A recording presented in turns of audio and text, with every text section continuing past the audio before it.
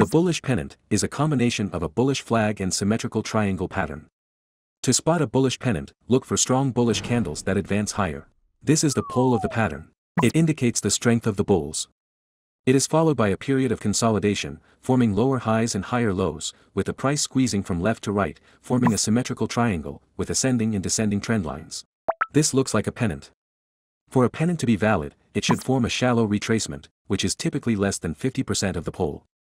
The bullish pennant pattern indicates a short pause in the current trading activity due to profit booking and indicates the impending continuation of the uptrend. When price breaks above the descending trend line with high volumes, it strengthens the bullish bias.